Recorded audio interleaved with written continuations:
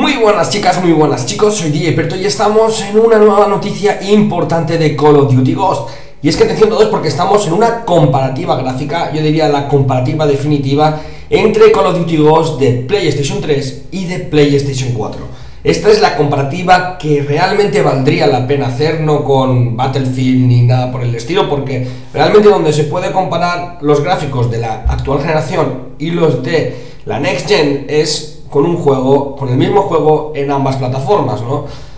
Pues os preguntaréis lo que estáis viendo en pantalla, ¿no? ¿Cómo es el salto visual de la actual generación a la Next Gen de lo nuevo de Activision? Pues os puedo decir que Call of Duty Ghost no amortiza la potencia de la Next Gen para nada, o sea, como podéis ver, no es tan grande el salto, pero hay que ser sinceros y si está algo por encima es en aspectos gráficos como la definición y la fluidez y nitidez, ¿no? De, eh, por ejemplo, los reflejos del agua, el comportamiento lumínico y las sombras o carga, o carga de texturas, que ya faltaría que eso no estuviera visible in-game, ¿no? En las imágenes que podéis ver capturadas directamente desde las versiones de PlayStation 3 y de PlayStation 4 y en el vídeo que tenéis en la fuente en la descripción donde lo podéis ver realmente perfecto. No lo he podido poner aquí porque no lo he encontrado para poder descargarlo.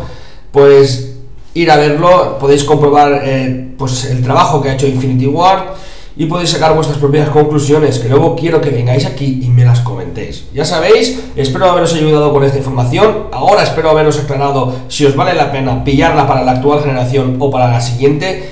Yo sinceramente creo que vale la pena pillarlo para esta y esperarse a los próximos Call of Duty si queréis un salto más potente. Ya sabéis, como siempre, intentaros ayudaros, ayudaros, perdón, like y favoritos y nos vemos en la siguiente. ¡Chao!